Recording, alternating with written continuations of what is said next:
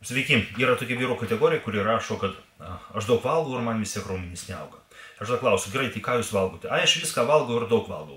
Na tai gerai, tada sakau, parašykite, ką valgote konkrečiai. Va, pavyzdžiui, pusryčiam, ką valgote, ką valgote pietums, ką valgote vakarieniai, ten tarpinius valgymus, jeigu valgote, ką kiekvienu valgymu, kokiais kiekiais valgote. Na gerai, tarkime, vyro svoris yra 80 kg, jis nori priaukti daugiau raumenų. Ne tada, sakykime, pagal klasikinius skaičius, klasikinės formulės arba sėriment nuo tų klasikinių formulių jam reiktų suvalgyti 160 gramų baltymų, tai yra 80 dauginam iš dviejų ir gauname tą skaičių baltymų, kurį jam reikia per dieną suvalgyti. Ir jeigu, tarkime, jisai valgo 5 kartus per dieną, tai 160 padalinė iš 5 gausime 32. Na, ne, tai vidutiniškai jisai turėtų suvalgyti 32 gramus baltymų per dieną. Ne vienu valgymu gali būti šiek tiek mažiau, kitų galbūt šiek tiek daugiau ir tokiu būdu kompensuoti, bet vidurkis turėtų būti toks ir galutinis skaičius turėtų būti toks. Gerai, na ir tada jie rašo, ką valgo. Na, pa, pavyzdžiui, pusryčiam pavalgo, yra parašo, kad valgiau du kiaušinius ir tada valgiau uh, daug tam batono ir nutėlos užsitepiau. Gerai, kalorijų gaunasi daug, angliavandenių daug, riebalų daug, baltymų, jeigu skaičiuosime tik tai, nu, svarbiausius tos baltymus, ne iš kiaušinių, tai gaunasi 2 kart 6 gaunasi 12, ne? nes vienas vidutinio dydžio kiaušinis turi 6 gramus baltymų, jeigu mes kalbame apie visą kiaušinį, tai yra pilną kiaušinį su triniu, dar ten kažkiek keletą tų gramų gausis iš, iš batono. Na gerai, tebūnė tada gaunasi iš viso suma gavusi galbūt 20 gramų baltymų.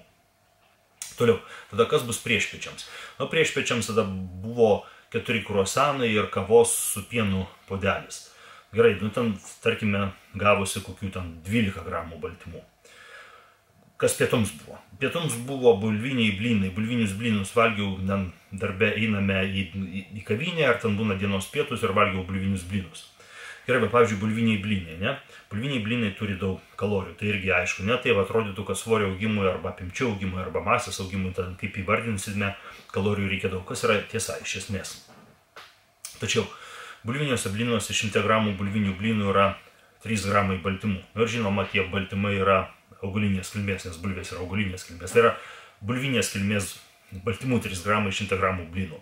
Tarkime, jisai suvalgė pusę kilogramo bulvinių blynų, ko jisai negalėjo suvalgyti, bet tebūnė jisai suvalgė pusę kilogramo bulvinių blynų. Tada jisai gavo 15 gramų baltymų, iš kurių vis tiek yra 15 gramų bulvinės kilmės baltymų.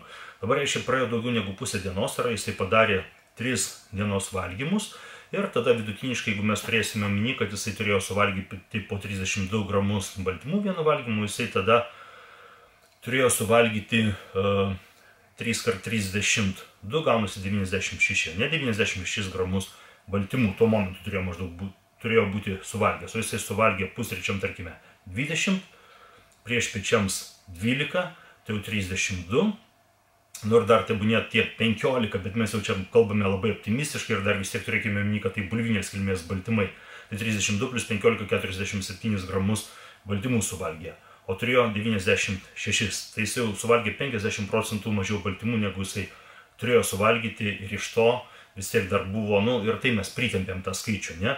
Na ir dar liko du dienos valgymai ir jis vėl pavalgys kokį nors ten koldūnų ir ten, pavyzdžiui, stribos pavalgys, ne? Žinoma, jūs su, su tokiu maisto kiekiu net ir kalorijų, jeigu bus daug, bet yra nepakankamai baltymų, žinoma, žinoma neauksite. Čia yra lygiai tas pats, kas, sakykime, jūs norite namą pastatyti, jeigu palyginsime tai su statybomis. Ne? Jums reikia turėti dideliam namui, reikia turėti daug statybinių medžiagų. Bet jeigu jūs turite labai daug plytų, tačiau neturite uh, žvyro ir neturite cemento tam, kad darytumėte, galėtumėte daryti skėdinį ir tą plytą tas mūryti, jūs negalite statyti namo. Arba atvirkščiai, jeigu jūs turite daug žvyro ir turite daug cemento ir galite daryti, ir vandens turite ir galite daryti skėdinį, bet jūs neturite plytų, jūs vėlgi negalite pastatyti namo. Todėl, kalbant apie statybinės medžiagas, statybinių medžiagų turi būti pakankamai, taip, taip kaip ir kalorijų turi būti pakankamai, arba tų maisto medžiagų turi būti irgi pakankamai, bet taip pat turi būti tinkamas jų santykis. Turi būti pakankamai to ir pakankamai no ir pakankamai šito. Dėl to, kad angliavandeniai riebalai, kurių lengviausia suvalgyti, ir kurie iš esmės energijos yra šaltiniai, jie nestato raumenų dėl to, kad jie nėra statybinė raumenų medžiaga. Statybinė raumenų medžiaga yra baltymai. Nu, jūs šitą dalyką puikiai žinote. Todėl paėmus tą atvejį, apie kurį aš dabar kalbėjau, net jeigu žmogus valgytų pusantro arba du kartus daugiau negu jisai valgo, nu, taip pat irgi yra tikėtina, kad jau, jam raumenų masė vis dar arba neauktų, arba auktų labai menkai.